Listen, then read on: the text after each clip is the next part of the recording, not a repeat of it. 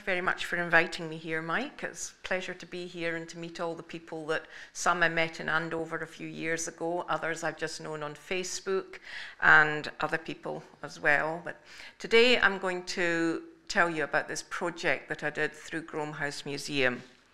Now, Groam House Museum is a small museum on the Black Isle, which it's in Rosemarkie, the village of Rosemarkie, and you can see it marked there on the map.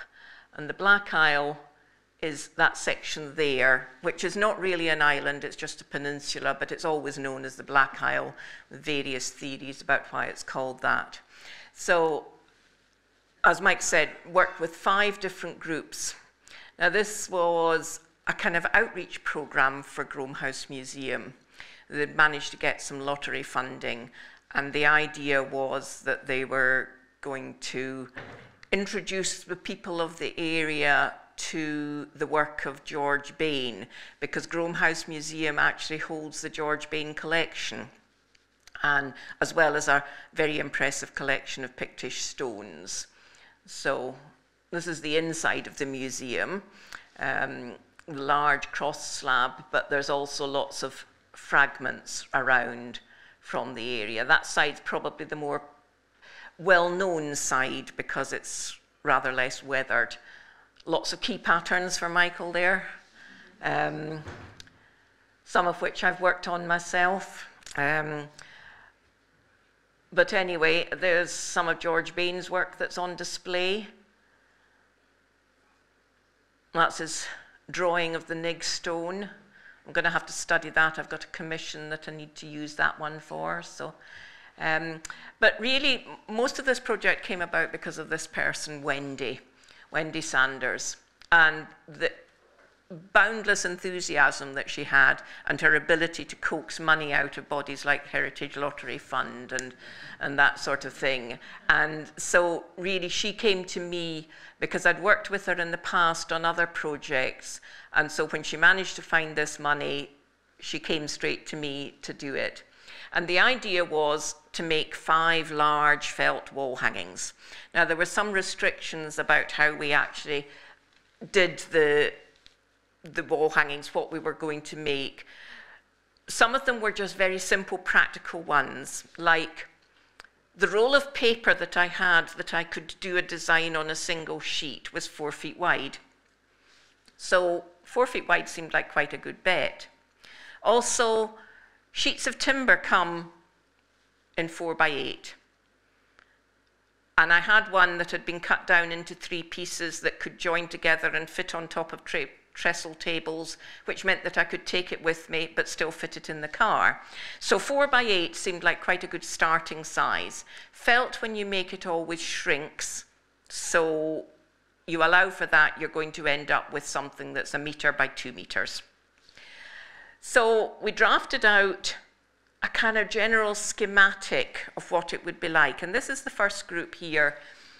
You can see there the idea was that there would be knotwork panels in the spaces round the, round the edges. As you see in lots of the illuminated manuscripts and on some of the Pictish stones, there are these sort of blocks of knotwork and key pattern around the side. We decided to stick with knotwork, it being slightly easier for people to get their heads around. So this was them studying the concept. Then they had to start the work of actually making the, the felt. So they're choosing their colours, and this is, this is just um, fleece that's been washed, wool fleece that's been washed, combed, and dyed. And they're choosing two colors to work with to make a double layer of the fiber to then trace onto some special paper the knotwork designs. Now you'll see there that there's no overs and unders. That's really important at this stage. When you're working with textiles and you're doing this kind of um, layering of fabrics to get your designs, you do not want the overs and unders because it means you end up cutting where you don't want to cut. There's one bit where they've actually drawn the line in. Uh, I think I've got a pointer. There, where somebody's got a bit carried away with drawing their lines. But as a general rule, you don't want those lines.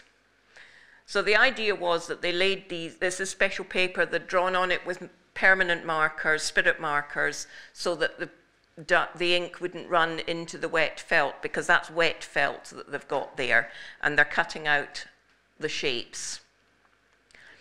The next stage is that we're making the background. So those were going to be the knots. Now we're making the background, and it's a question of laying down the fleece and then decorating it up. So there were two layers of the white wool. And then the idea was to cover it up and make it maybe something that might be reminiscent of a Pictish stone or reminiscent of a bit of aged vellum, um, but something that didn't look spanking brand new. Wetting it all down, rubbing it with soapy water, and then they could lay on all the pieces that they'd cut out. And we had quite a lot of time playing about um, deciding which bit would go where, and they were influenced by colour and they were influenced by the designs they'd chosen. Some of these designs they'd drawn themselves, some of them I had given them a template to work from because it really depended how much ability they had themselves. Um, the little bits of ribbon that are in the table, on the table in the middle here, weren't part of the design. They were actually just little bits that we'd cut to lay on top of the felt so that they could see where the overs and unders were going to go.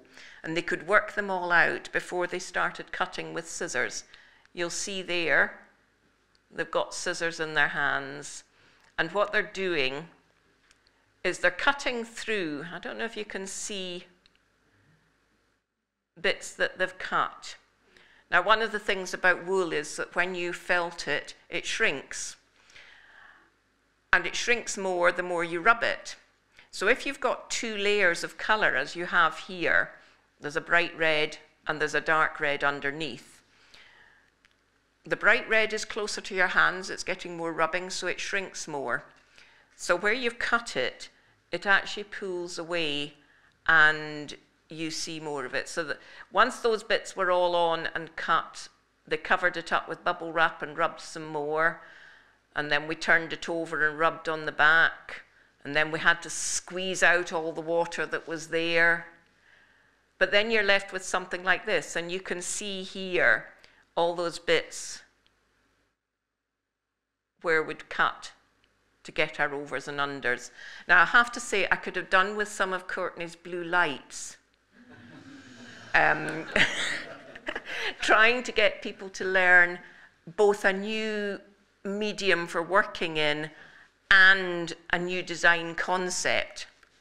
And for them, it was a new concept because really, although they, these were all people living on the Black Isle within a stone's throw of Groam House Museum in Rosemarkie, they'd never been in. As so often happens, the locals don't go to the places that the tourists go to. The space in the middle was all going to be filled. Each group chose their own text and concept of what they wanted to do. And this particular image, this is from the group at Culbokie, and they, they were a church group. So we were working in the church hall, which is also a community centre.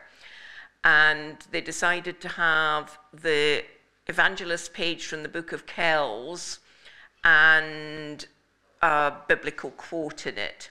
So I don't know if you can. Oh, sorry. See, we're actually uh, working through stencils, I don't know if you can just make out there um, the there's a sort of translucent plastic sheet in which I'd cut holes. And what they're doing is they're poking wool through with felting needles, technique called needle felting. And it just allows you to be quite precise. And the lines across were just pieces of ribbon that had been pinned in place while they worked so that they kept their text reasonably straight. I'm not sure how they did that in the illuminated manuscripts because it's not something I've made a study of, but we used ribbon. And you can see them all there. With some are working on the knotwork at the sides, some are working in in the middle. It was partly who was interested in which bit and who was who had longest arms and longest back to reach over into the middle of the table. But that's the center of that, the three sections. It was easier to photograph that way. Um, but it was still wet and a bit rough and ready, and not all the knotwork had been done. But you can see we're, we're tramlining the, the edges of the knotwork, and this really picks out the overs and unders.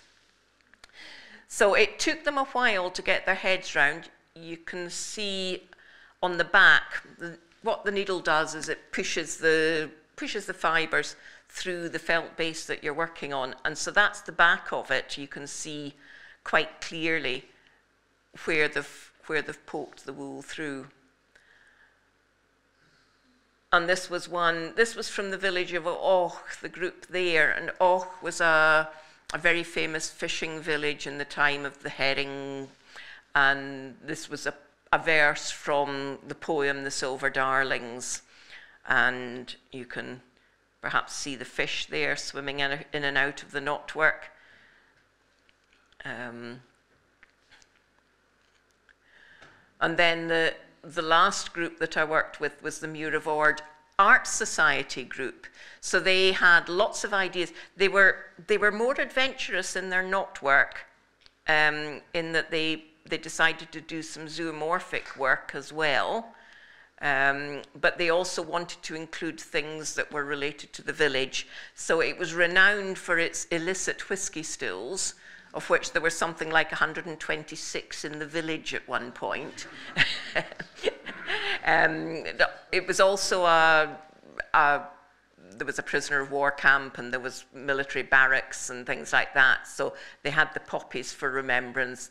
And the, the reason the town came into existence was through the cattle droving. So they had the black cattle from there. So that was, and somebody had written a poem. Now, throughout all these groups that we had, each, each group spent five days working on their felt over a period of a month. So like you'd have one day one week, one day the next, well, two days the next week, another day the next week, and another day the last week. And I worked on them one in January, one in February, one in March. We had a break over Easter, did one in May and one in June. And what we found was that as we were working, lots of people in the locality would come in and observe what we were doing and sometimes try their hand and add in a little bit more. But here, we're almost at the end of it, you can see them struggling. This is, you're mostly seeing the back of it there, but it allows you to see quite clearly the effort that they've put into doing that needle felting all around the edges to emphasize the, the designs. And that's it upside down, and they're just putting more soapy water on to do the final letting down, final rubbing,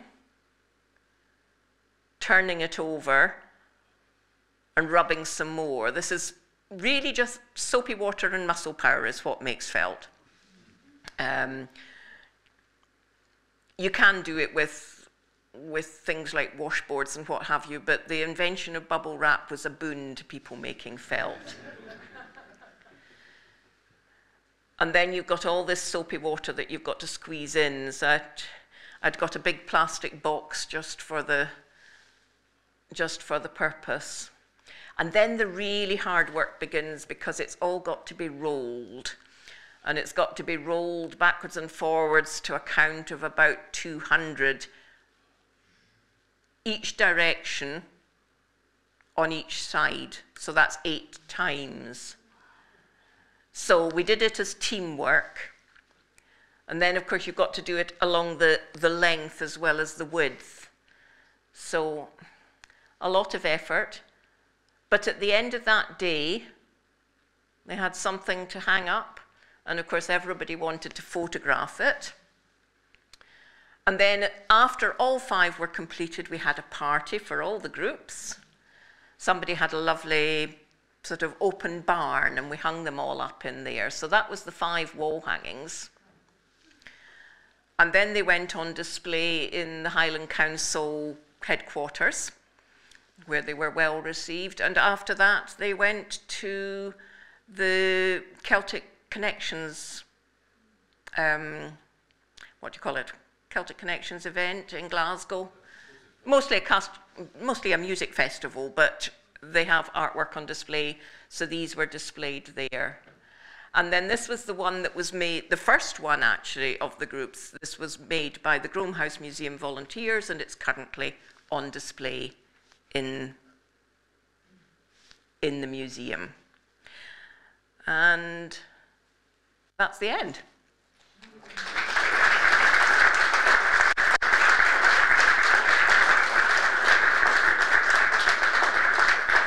So I'm very happy to take questions, but if Mike, you would prefer to leave it till later, I'm happy to do that. We do have a, a maybe five minutes. Well, uh, I tell you what, uh, I had a special request. Um, it's kind of one of many today. um, to have a photograph of everybody taken outside the front, uh, maybe in about uh, 10 minutes. Uh, would everybody be happy to do that and before tea? Uh, so we've still got five minutes to right. have a few. Oh, one of the yeah, things I should say, yeah. I forgot to mention as I was speaking there, I did bring with me a, a large format A3 book that would made that covered the, the progress of the thing. So if, if anybody wants to read the step-by-step -step instructions, I forgot to bring it in from the car this morning, but my husband said he would go out and get it.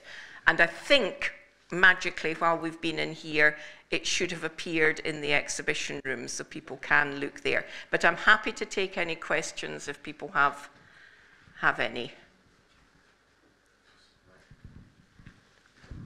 Uh, this is uh, Ed here, sitting in front. Oh, yep. um, how did the people respond to doing this stuff? Did they enjoy it to any I, degree? Or? They, yes, they did. I mean, there were some people who just kind of threw their hands up in horror and said, "Oh, I can't cope with that with Celtic knotwork." They were happy to do the felting, but they really just kind of had a mental block about doing the working out the interlace. There were others who said, "Why haven't I discovered this before?" And I think we're definitely going to go on and try drawing designs and working in, with them in different ways. Um, in terms of the, the purpose of the project for, you know, actually bringing the work of the museum to a wider audience, it served its purpose because, I mean, I showed you that last slide, the one that was up on display in Groam House Museum, because that was made by the Groam House volunteers. That was the first group. But the other ones were made, I mentioned one in the village hall, the, the community centre and church at Culbokie. That's on display in the church. So everybody that comes into the church sees it and they ask questions about it and they get inspired and so it ser serves the purpose. Another two went into village halls and the final one, the Muir of Ord one, went into the community hub in Muir of Ord, I think where they have a library as well. So people are seeing these. Yes, people were mostly enthused by learning about Celtic design. Even though we kept it very simple, they could see the potential for going further with it.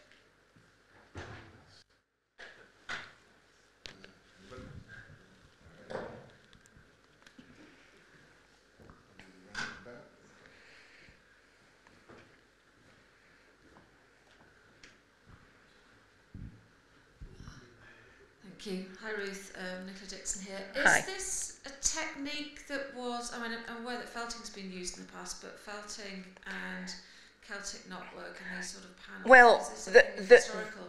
The process is called the inlay method. And I'm not aware of other people using it for Celtic design. but it's very well a very well established technique. This cutting out a half-made piece of felt and laying it onto a background has been widely used for the likes of the Kyrgyzstan carpets and uh, Mongolian felts and things like that. You know, so the, the process is widely used. I'm not aware of other people having used it specifically to do Celtic design. I'm not saying they haven't, but I'm not aware of it. Thank you.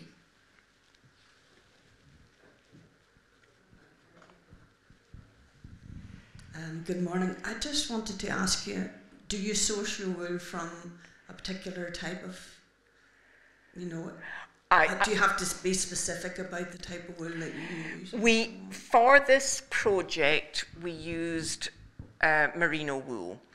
Two reasons for that.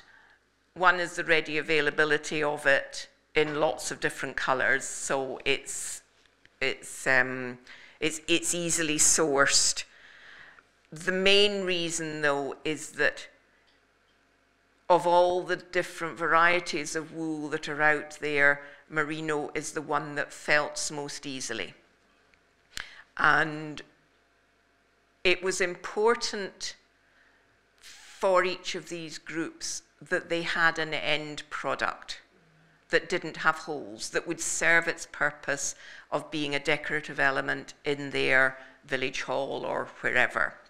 So to ensure that they would actually get good results, we used merino wool to make it work. But you can felt with any kind of wool. Some just take a lot more muscle power, some take an awful lot more preparation. And the, the second part of the question was going to be how long will that piece last then? Is like If the moths don't get at it, it should last indefinitely if it's properly properly displayed.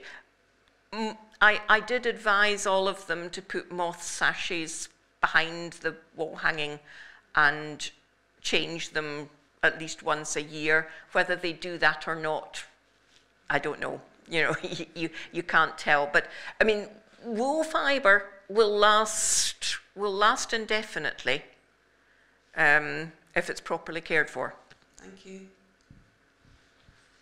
have a comment. Um, I think one of the wonderful things about this is that it's public art. And so much of the, the Celtic art of our generation has been very personal things, like jewelry and tattoos and things for the home. But, um, I think that's I think that's really true. And for me, I mean, most of us all kind of work away in our little corners, and it's quite difficult to. Um, somebody was speaking yesterday. I'm trying to think who it was. Um, yeah, about. Uh, yeah, but no, there was somebody s- mentioned, was it Ed? Somebody had asked Ed a question about whether he taught other people. And he was saying, no, he mostly sort of worked in his little own little corner. And for me, that's very much the case. I work in my studio. I might not see anybody from one day to another. And to have the opportunity to go out and share both my love of the felt making medium and the the style of design with a whole new audience was just lovely. And the fact that they actually paid me to do it was better still. Um, and it's good to get out there. I mean, when you work like that, well, for a start, I could tackle a much bigger piece than I would physically be able to manage all on my own. I mean, you saw those slides of the doing the rolling. That would have been such hard work to have done on my own. I mean, I, I could do it. I have done big pieces for myself, but it's physically hard work. So getting other people to do the donkey work for you is a really good idea.